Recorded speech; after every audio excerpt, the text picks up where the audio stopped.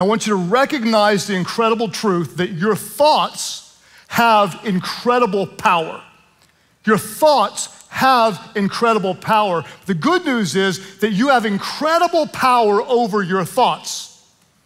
Your thoughts are incredibly powerful.